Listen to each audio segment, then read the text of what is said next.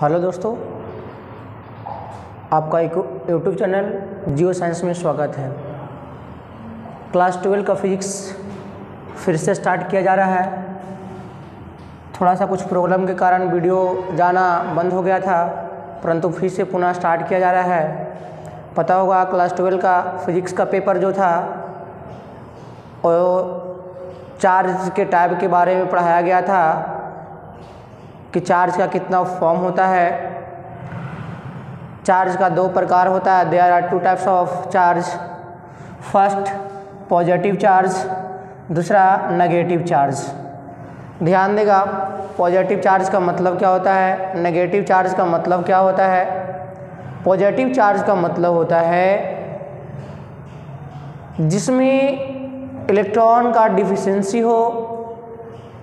जिसमें इलेक्ट्रॉन का कमी हो वो प्रोटॉन कहलाता है अर्थात पॉजिटिव चार्ज कहा जाता है और जिसमें इलेक्ट्रॉन एक्सेस हो इलेक्ट्रॉन की संख्या बढ़ता हो हमेशा वो नेगेटिव चार्ज कहलाता है जैसा कि सामने लिखा हुआ है पॉजिटिव चार्ज का definition it is a deficiency of electron as compare to the proton electron का कमी होना अर्थात एक पॉजिटिव चार्ज का ही काम होता है इलेक्ट्रॉन नेगेटिव चार्ज का डिफिनेशन है it is excess of electron as compare to proton इसका मतलब हुआ कि इलेक्ट्रॉन की संख्या बढ़ेगा तो हमेशा कहलाएगा नेगेटिव चार्ज जब इलेक्ट्रॉन की संख्या घटेगा तो हमेशा कहलाएगा नेगेटिव चार्ज आगे ध्यान दीजिएगा इलेक्ट्रॉनिक चार्ज का मतलब होता है सबसे छोटा चार्ज 1.6 दस के पावर माइनस उन्नीस ग्राम होता है कोई पूछेगा कि बताइए सबसे स्मॉलेस्ट इलेक्ट्रॉनिक चार्ज का मान कितना होता है तो 1.6 पॉइंट दस के पावर माइनस उन्नीस ग्राम उसके बाद चार्ज ऑफ इलेक्ट्रॉन इलेक्ट्रॉन पर चार्ज का मान होता है minus one one point six दस के पावर माइनस उन्नीस गुलाम पोट्रॉन पर चार्ज होता है वन पॉइंट सिक्स दस के पावर माइनस उन्नीस गुलाम परंतु ये दोनों में फ़र्क है एक पर माइनस चार्ज एक पर प्लस चार्ज होता है इसका मैग्नीट्यूड सेम होता है परंतु इसका साइन अलग अलग होता है यहाँ पर कुछ इंपॉर्टेंट चीज़ दिखाया गया है कि जब सेम चार्ज रहेगा तो कौन सा प्रॉपर्टी लागू होगा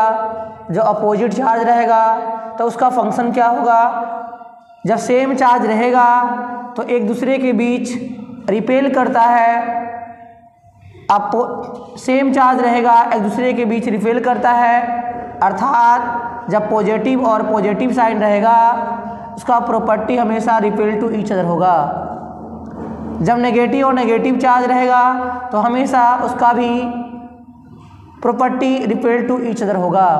इसका मतलब एक दूसरे के बीच में विकर्षण होना पॉजिटिव और नेगेटिव रहेगा तो हमेशा एक दूसरे के बीच में अट्रैक्शन होता है अट्रैक्शन होता है इन चीज़ों को ध्यान में रखते हुए ध्यान देना कि पॉजिटिव पॉजिटिव एक दूसरे को रिपेल करता है अर्थात same charge repel to each other but opposite charge attract to each other आगे चलते हैं ध्यान देना चार्ज का प्रॉपर्टी भी होगा बहुत इंपॉर्टेंट चीज़ है चार्ज का प्रॉपर्टी क्या क्या होता है चार्ज किस किस फॉर्म में होगा आगे बताया जा रहा है आगे ध्यान से नोट्स भी करते चलिएगा चार्ज का property property of charge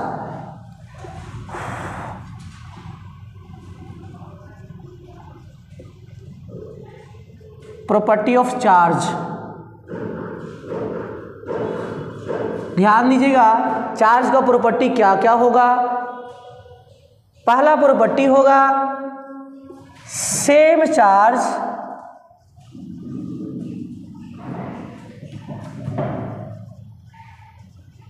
repel to each other but opposite charge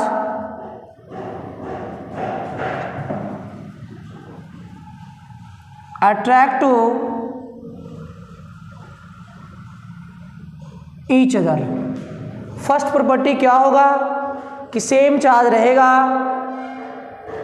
तो रिपेल करेगा बट अपोजिट चार्ज होगा तो अट्रैक्ट करेगा वही चीज़ लिखा हुआ है same charge repel to each other but opposite charge attract to each other आगे ध्यान देना charge is quantize in the nature इसका मतलब क्या होता है हमेशा चार्ज का जो फॉर्म होता है वो क्यू बराबर एनी के फंक्शन में होता है अर्थात सबसे छोटा चार्ज वन पॉइंट सिक्स के पावर माइनस उन्नीस गुलाम इससे छोटा कहने का मतलब हुआ कि चार्ज का जो फॉर्म होगा क्वांटाइजेशन इन नेचर का मतलब हमेशा जो भी चार्ज होगा वो टू ई e के फंक्शन होगा थ्री ई का फंक्शन होगा फोर ई e का होगा वन ई e का होगा कभी भी चार्ज का form function one point three नहीं होगा वन पॉइंट सेवन ई नहीं होगा टू पॉइंट थ्री ई नहीं होगा इसका मतलब डेसिमल ना फ्रैक्शन होगा और ना डेसिमल फॉर्म में होगा ही नहीं चार्ज आगे का third point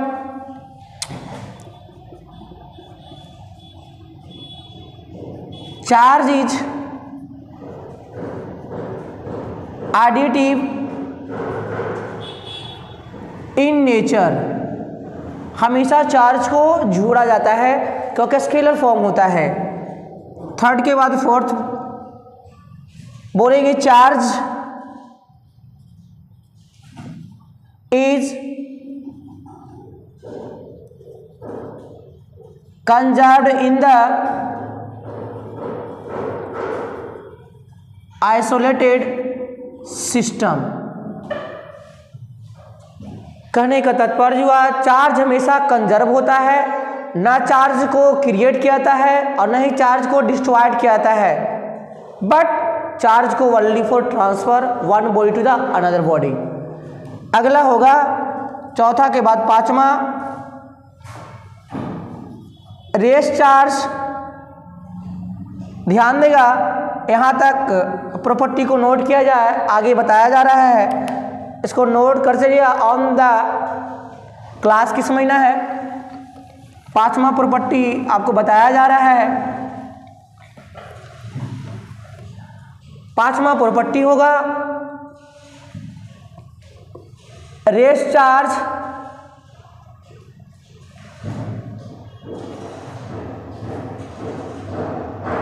produced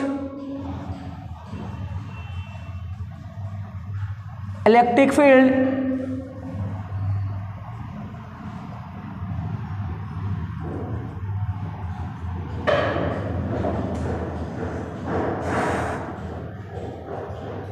charge in uniform velocity produced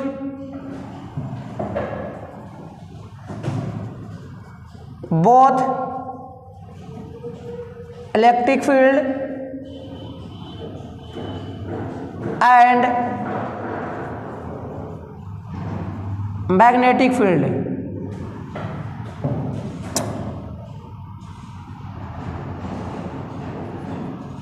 but charge in accelerating produced electric field magnetic field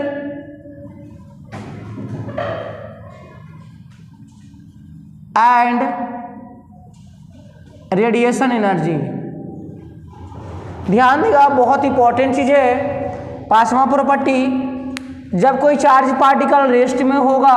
तो इलेक्ट्रिक फील्ड प्रोड्यूस करता है जब कोई चार्ज पार्टिकल यूनिफॉर्म वेलोसिटी के साथ मूव करेगा तो इलेक्ट्रिक फील्ड और मैग्नेटिक फील्ड दोनों होगा इलेक्ट्रिक फील्ड का सिंबल होता है ई e, ध्यान देना और मैग्नेटिक फील्ड का सिंबल होता है बी बट लेकिन चार्ज इन एक्सलेटिंग जब चार्ज एक्सलेट कर रहा होगा तो हमेशा इलेक्ट्रिक फील्ड भी प्रोड्यूस करेगा मैग्नेटिक फील्ड भी होगा और रेडिएशन एनर्जी भी होगा छठा प्रॉपर्टी क्या होगा यहां ध्यान देना है charge is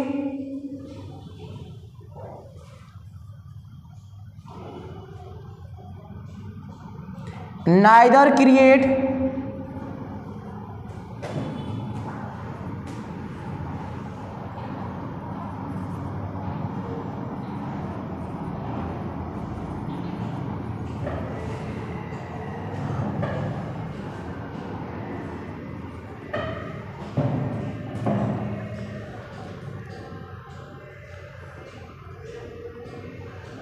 but